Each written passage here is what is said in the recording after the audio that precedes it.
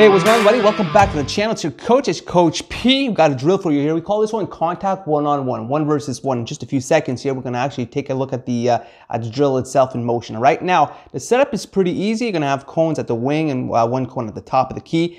You're going to have the offensive player and the defensive player. We'll begin in the corner with the offensive player on the inside and the defensive player on the uh, on the outside. All right. Now the offensive player will dribble with their inside hand to keep the ball protected while making contact with the defensive player the entire time.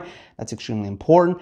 After reaching the second at the top of the key, the offensive player will attack the basket strong and the defensive player will need to go behind and chase. All right. Now the key point on this is that we want to make sure that the offensive player can keep the defensive player in back of them and want to make sure they finish strong. Now, if you want to do this a little bit different, instead of using two cones and uh, instead of using two pylons, you can have two assistant coaches uh, standing there with blocking uh, with uh, blocking pads, and as the players turn, they can kind of push the players a little bit. All right, again, great drill. Give it a shot. Contact one on one.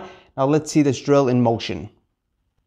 All right, now taking a look at the drill in motion, going on the uh, the pylons attacking the basket strong. The offensive player, his thing, what he wants to do is want to make sure that he keeps a defensive player in the back and he wants to make sure that he's attacking the basket strong. And like I mentioned previously, instead of using two pylons, you can use two assistant coaches with blocking pads at the top, on the wing, and at the top, right? Like always, guys, if you have any questions or comments, you know exactly what to do. You want to make sure you subscribe to the channel so you never miss any of my videos, all right? Until next time, everybody, this is your coach from On The Sides, Coach P.